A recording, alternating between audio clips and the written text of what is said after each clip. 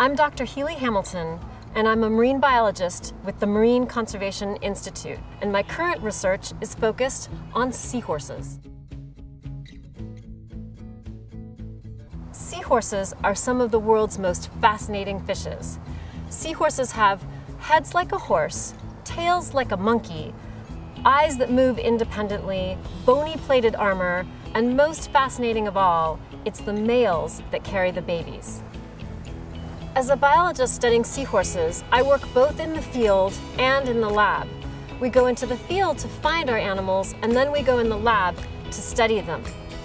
Out in the field, I get to go to some of the world's most amazing marine environments.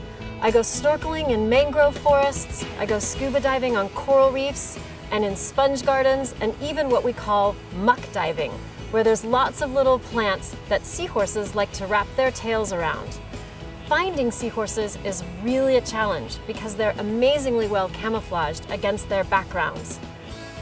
Once I find them, I'm trying to get a little tip of their tail or a little piece of a fin that I clip off, put in a test tube, and take back to the lab. Growing up in a family that loved and valued nature, I always knew since I was a little girl that I wanted to work to save the natural world. But I wasn't very good at science or math, and nor was I encouraged in science or math as a young girl. But then I discovered biology, the science of life. And as soon as I discovered biology, I've never looked back. There's no doubt that to become a scientist, there's some hard work involved. But if you love what you do, that hard work doesn't really feel so hard.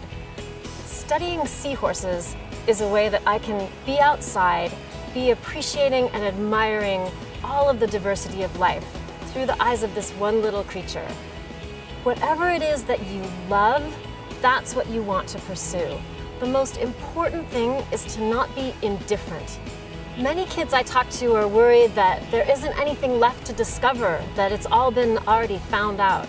And nothing could be further from the truth. There are so many questions left to ask and so much that yet needs to be discovered. Yes, you need to focus in school, but you don't need to know what you want from the very beginning. I didn't start as a scientist until I was a sophomore in college. So if you follow what you love and work really hard, you will be able to achieve whatever career you want, and your inspiration and enthusiasm will in turn inspire others.